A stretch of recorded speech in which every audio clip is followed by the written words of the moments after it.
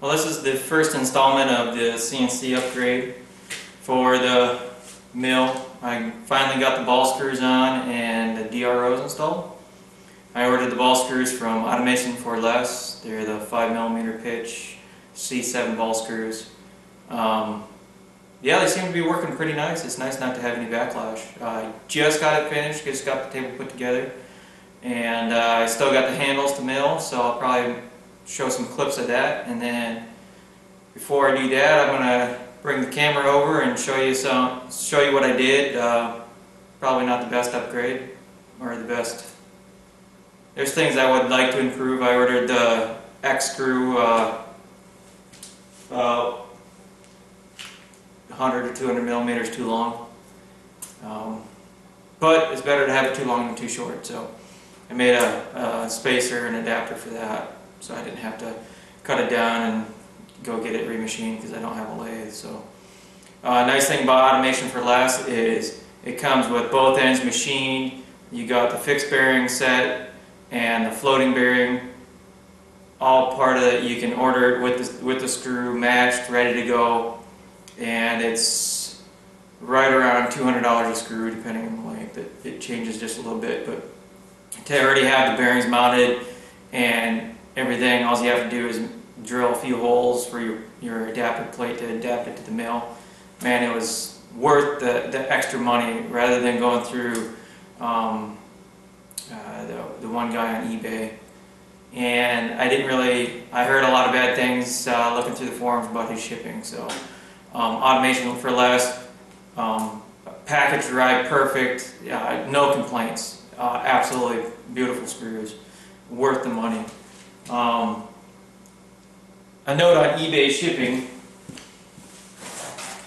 these are the mangled boxes that my DROs came in and all I did was open the end. I mean, this was, I was surprised that the, the DROs weren't damaged. I mean, it's like the boxes you put on the shelf and they just threw a shipping label on them. It was just surprisingly ridiculous. Um, which is one of the main reasons why I don't buy from eBay, along with them screwing me over, but that's a different story. Um, yeah, here comes some close-ups. This here is the, uh, the adapter I had to make. This is the floating bearing end and the extra ball screw hanging out the end here. Maybe I can get a picture underneath if there's enough light. But uh, this is the uh, the YDRO.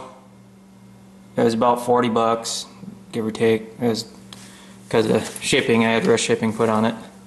But uh, all I did was drill a couple holes, uh, thread and tap. I had to make make that bracket, which is just eighth inch aluminum, and then drill the hole there. And that works out pretty nice, especially for under $100. I'm I got DROs on the machine. And the X-axis is just in the dovetail there for the mechanical stops. Um, I decided to put it on the front at least for now because it was easy and uh, this is where the uh, stop bracket center bracket used to mount so all I did was machine a quick groove on that still got to tighten that down but um, this is the the uh, Y bearing the plate haven't painted it yet my temporary handle um, works just so much smoother. And then the uh, the X-axis plate painted and the temporary handle. Um, and then these are where I got the DROs mounted. This is the Y and this is the X.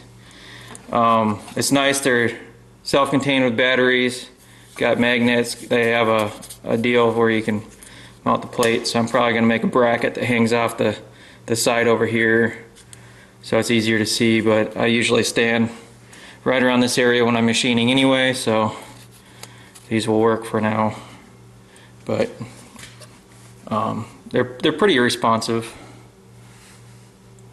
they're not as fast as I would like but it'll be nice having DROs. So, and they're a must uh, when you do the uh, the ball screw upgrade because you don't have any vernier on your screws anymore. So you have to go with the DRO setup, but um, yeah, that's that's the upgrade so far. And when I do CNC, I'll hopefully use this these same plates and be able to put standoffs to the the stepper motors. It'll probably stand off.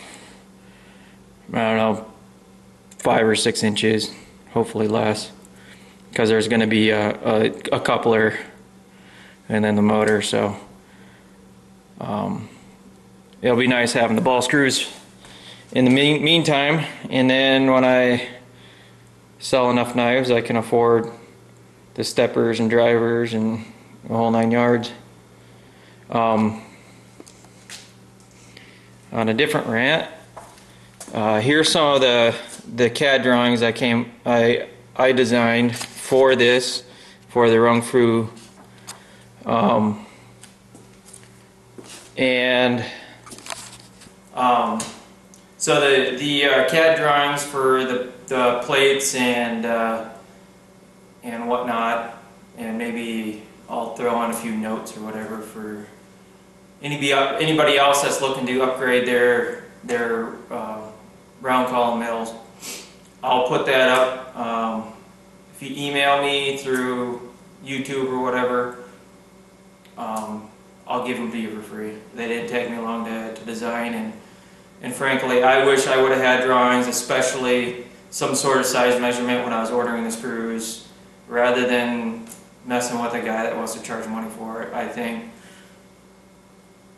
it's better for people to give information to each other freely. So if you want the uh, the CAD drawings, just email me, um, and I'll I'll be happy to throw them in a zip file and and either AutoCAD file format or the DWG, which pretty much any uh, I think uh, SolidWorks will open a DWG file. So almost any CAD file uh, will open, oh, CAD program will open a DWG. So I'll send them to you in DWG if you want uh, electric electronic copies, and that way you got what I came up with uh, as far as measurements and everything, and it, everything seemed to fit right. Um, aside from my own machining mistakes, I had to redo one plate because apparently I was too tired when I was doing it because I screwed it up pretty bad. But um, that's the uh, Rong Fu upgrade so far, and uh, I was gonna show some footage from the gun show I was at last, last weekend with uh, one of my tables, but it was a slow gun show, so I didn't feel like uh, taking much for video. It was uh, the first time they did it at that location, so it was pretty slow. Anyway, thanks for watching. Uh, check my Facebook page out for any updates on knives that I have for sale and all that. Um, that's usually what I update first is Facebook. And watch more. Uh, I haven't updated my website for quite a while, so uh, that's lastfrontierknives.com if you want to check out the website. Um, and Facebook. Uh, Last Frontier Knives on Facebook or Thomas Van Crevelen. Thanks for watching. Bye. Here's the uh, the Y, and you can see how I got it extended out. I had to cut that webbing and grind uh, a little bit into the column base to get the ball screw to clear. Um, to get the full full range out of the the Y. So thought I'd thought I'd show that. Um, just the direction the nut is. Um, I might have been able to forge it if the you know if the nut was turned around the other way towards that direction, but it is what it is, and I didn't want to take the the nut off and have bearings go everywhere. So.